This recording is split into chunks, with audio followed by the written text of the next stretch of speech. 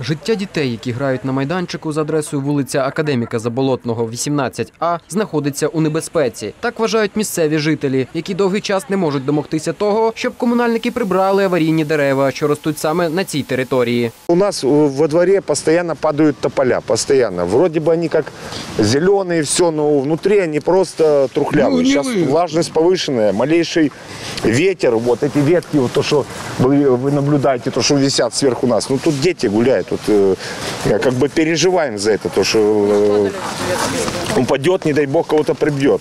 До этого ветки падали. Нещодавно після чергового дощу величезна гілка впала на гараж та пошкодила шість машин. На щастя, тоді ніхто з перехожих фізично не постраждав, тому що сталося це посеред ночі. Шесть машин побило. Ну, железо есть железо, бог с ним. Ну да, люди пострадали материально. Э, Это произошло бе- без 20 час ночи, потому что я только с работы приехал.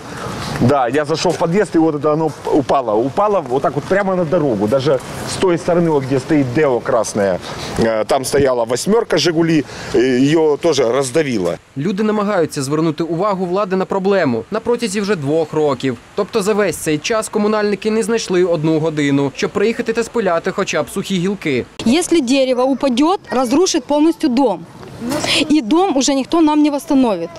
Мы обращались много куда. Нам говорят, что это в СДПТ не заложено.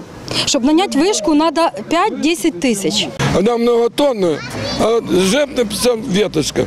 Составили акт, и его не выполнили. Вот два года я говорю, где, почему не выполняются акты? Не выполнили. Два года мы обращаемся в ЖЭП, в райадминистрацию, э, ну, суво- это вот, э, горисполком на имя Труханова.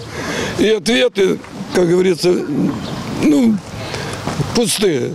Відзначимо, 2 жовтня міська влада оголосила тендер на проведення обрізки дерев на загальну суму майже 5 мільйонів гривень. Цікаво, на що саме підуть ці гроші та скільки ще часу знадобиться чиновникам та комунальникам на те, щоб нарешті вирішити проблему одеситів, за чий кошт нагадаємо і поповнюється міська казна. Павло Сичевський, Денис Руть, інформаційна служба новин.